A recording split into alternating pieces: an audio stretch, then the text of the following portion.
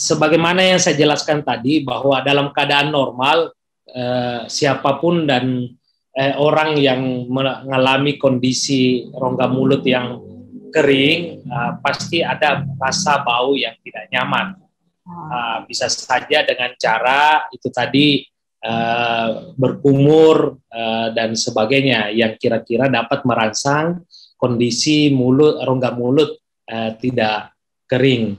Uh, dalam keadaan berpuasa ini dalam konteks berpuasa, saya kira uh, kondisi bau mulut uh, di saat uh, rongga mulut yang kering, saya kira itu sah-sah saja, wajar saja.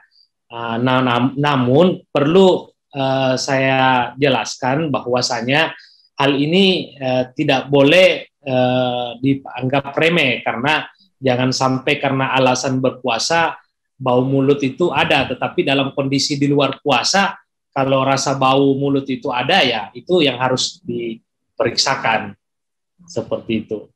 Terima kasih sudah nonton. Jangan lupa like, subscribe, dan share ya.